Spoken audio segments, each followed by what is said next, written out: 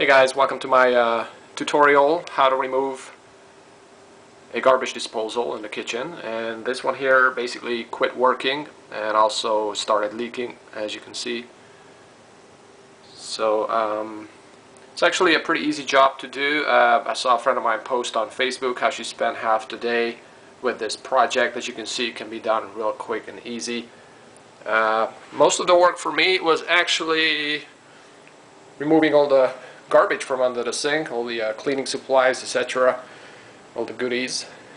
But uh, basically, as far as tools go, you're not going to need a whole lot of tools other than a flathead screwdriver, really. So we're going to set the camera down. I'm going to try to do this where you get a good angle at everything, hopefully.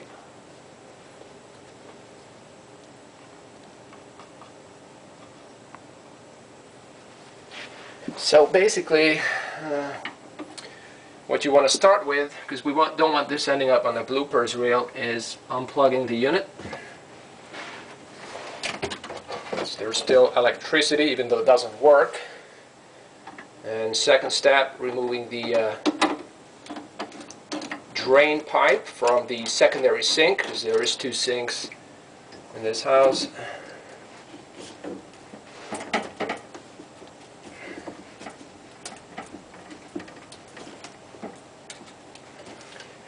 Might be stuck on there a little bit, so I'm going to just loosen it up a little bit with the flathead screwdriver. And as you can see, it will come right up. Also helps if the uh, secondary sink's not full of water, because that's all going to leak right in your lap.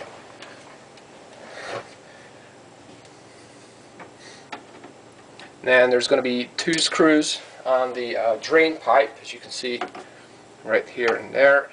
Once again, we can just use the uh, flathead screwdriver to loosen those up.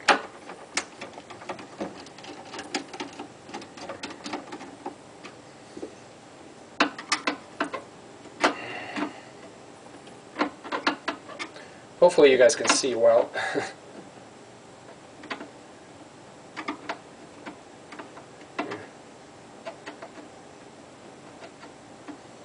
I'm just gonna take a peek.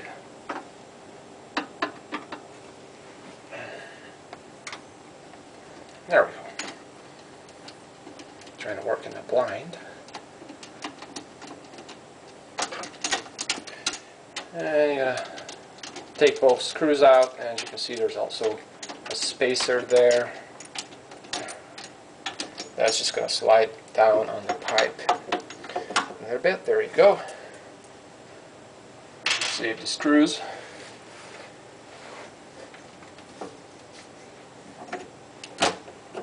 Just kind of loosen it up a little bit, but be gentle. You don't want to break the whole thing. Uh, as you can see, I also have a uh, reverse osmosis here right next to it, so it's a little tight space. After that, what you do is basically you're just going to twist the unit, and it will slide right out. And that's really all there is to it. Again, that we're going to... What you can do, sometimes because it might be stuck, is actually screwdriver into one of these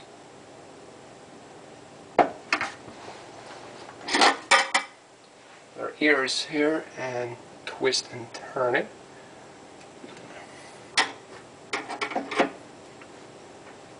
To kind of get it going. Use it like leverage.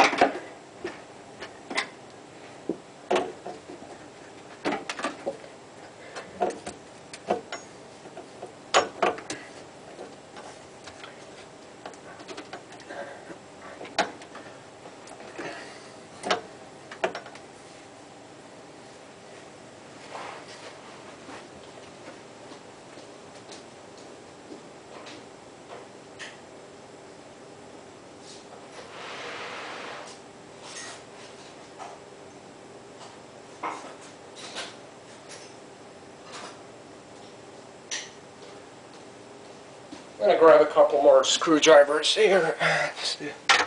Use as tools. This one's pretty too big.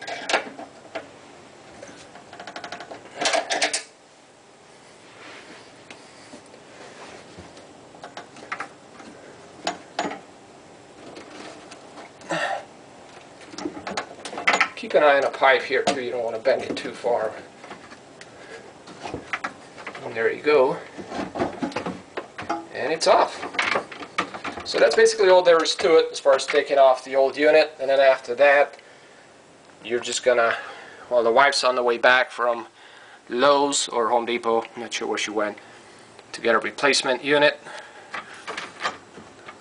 And it's gonna stink a little bit, but that's your sewer, and basically the new one will just pop back on the same way. Part 2, I'm gonna install the new one, so check out part 2 below. And if you like the video, click like and subscribe. I got more stuff coming up in the near future. Thanks for watching and have a good day.